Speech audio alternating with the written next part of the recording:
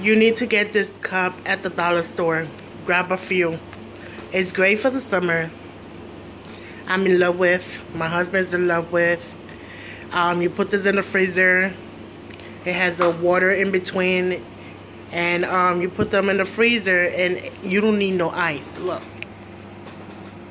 That's how cold it gets when you put any water, soda, juice, um, milk. It gets so cold that you can see the icy part on the sides and on the top. And we try um, two way.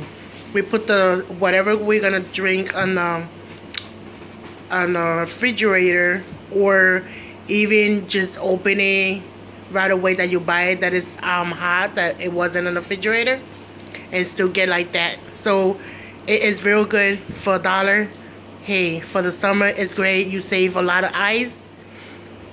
And um yeah. So god bless. Bye